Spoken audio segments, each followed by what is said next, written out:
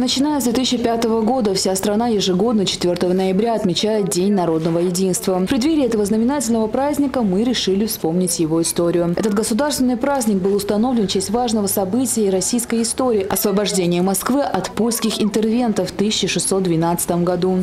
В такой день хотелось бы пожелать э, всем народам России единства, наверное, процветания, мирного неба, держаться вместе и только добра, счастья и удачи.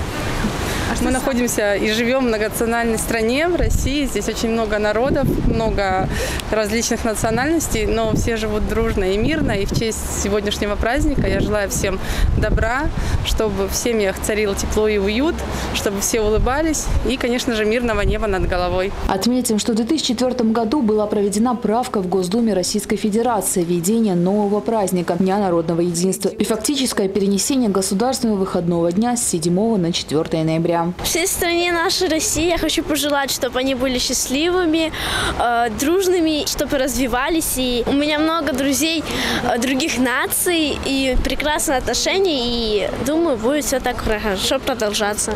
В преддверии такого замечательного праздника, День единства народов, я желаю всем дружно жить, не ссориться, не ругаться, быть счастливыми и довольными нашей страной. Сегодня в России проживают порядка 195 народов, которые уже очень долгое время живут в единстве и мире. А в Дагестане уже насчитывается более 30 национальностей и народностей со своими самостоятельными языками и диалектами, культурой и богатыми традициями. Я считаю, что Россия – это непобедимая страна, и мы всегда будем едины. Я очень надеюсь, что э, наша страна сохранит ту память, которую создали наши предки, и мы останемся дружной страной.